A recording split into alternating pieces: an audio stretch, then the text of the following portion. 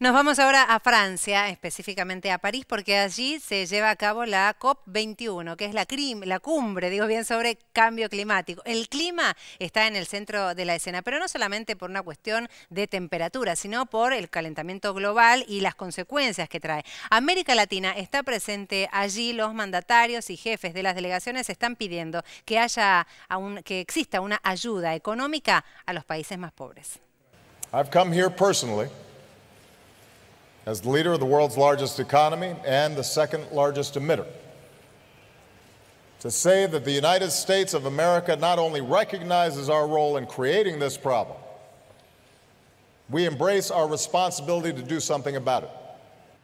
Je n'oppose pas la lutte contre le terrorisme à la lutte contre le réchauffement climatique. Ce sont deux grands défis mondiaux que nous devons relever parce que nous devons laisser à nos enfants davantage qu'un monde libéré de la terreur. Nous leur devons une planète préservée des catastrophes, une planète viable.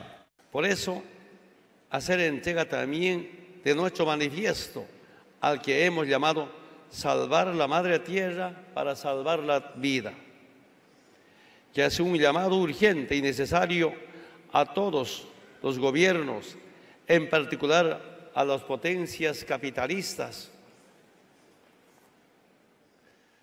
a que cese la irreversible destrucción de nuestro planeta.